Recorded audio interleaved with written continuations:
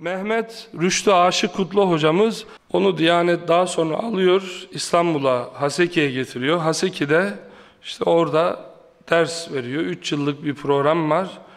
Orada aşere okutuyor talebelere. Zaman zaman da yukarıya Fatih'e çıkıyor.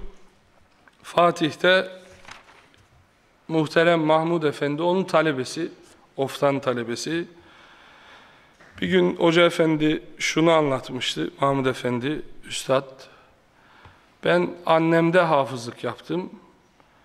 Ama ve in yestegîthû yugâthû. Yani ve in yestegîthû yugâthû. Yestegîşû yugâşû derdik.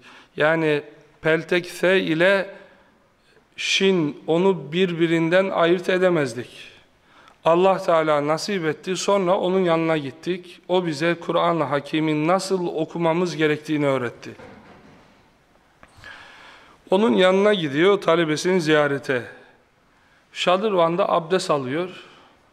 Tabi şartlar, sakalı çok uzun değildi o zamanlar. Yoksa müsaade etmezler, alırlar, engel olurlar. Biraz kısa sakalı var. Şadırvan'da da bir derviş, o da abdest alıyor. Hocamızı görünce yanına geliyor, diyor ki utanmıyor musun şu yaşına ve sakalına bakmıyor musun? Daha neyi bekliyorsun? Neden o sakalları uzatmıyorsun diyor. O da abdesti bitirince doğru söylüyorsun diyor. Uzatmak lazım. Senin dediğin doğrudur diyor. Yani ofsan böyle adam zor çıkar. Ama Allah Teala onu Kur'an-ı Hakim'le öyle terbiye etmiş ki yani böyle bir ifadeyle karşı karşıya kaldığı zaman evet efendim doğru diyorsunuz diyen ilmi kâmetine, kıymetine o adamı kıyas etseniz belki onun önünde nokta bile olmaz. O derviş gidiyor, muhterem Mahmud Efendi'nin halkasına oturuyor. O zaman fazla cemaat yok. Aşık Kutlu hocamız da birkaç dakika sonra içeriye gidiyor, görüyorlar onu camiye girince. Hemen haber veriyorlar, Aşık Kutlu hocamız geliyor diye. Mahmud Efendi kalkıyor yerinden, koşuyor, hocasının elini öpüyor, yerine oturtuyor. Onu azarlayan derviş bakıyor. Muhterem Mahmud Efendi, Üstad elini öptü, yerine oturttu. O ise birkaç dakika önce Şadırvan'da azarlamıştı onu. Oradakileri muhterem Mahmud Efendi tanıtıyor ona.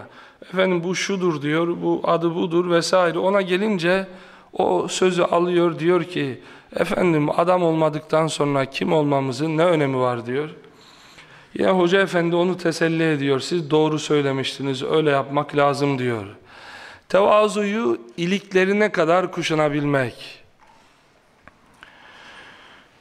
Onlar büyük adamdılar kardeşlerim.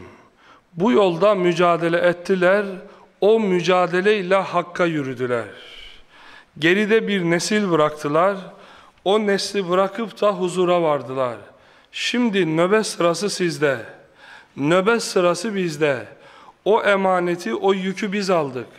Eğer biz götürebilirsek bizden sonrakiler de Peygamber sallallahu aleyhi ve sellemin izinde onun yolunda yürüyecekler. Kur'an-ı Hakim'i susturmak isteyen, engel olmak isteyen, şu kadar zalim gelecek belki, şu kadar tağut gelecek. İmam hatiplere bakıp bunları durdurabilir miyiz, engel olabilir miyiz diyen şu kadar adam var. Ama bizler, aşık kutlu hocalarımız, Gönelli Mehmet Efendiler gibi vazifelerimizi yapabilirsek Allah'ın inayetiyle bundan sonra Kur'an hakim bu ülkede gurbete düşmeyecek kardeşlerim.